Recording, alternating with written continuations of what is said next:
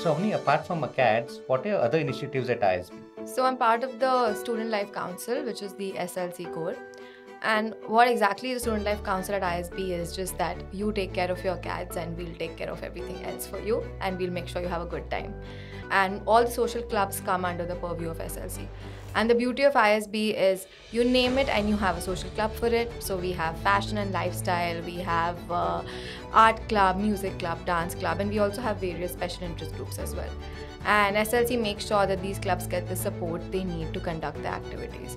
And I've been here for three months and I've already learned two dance forms, uh, done a lot of painting workshops, music workshops.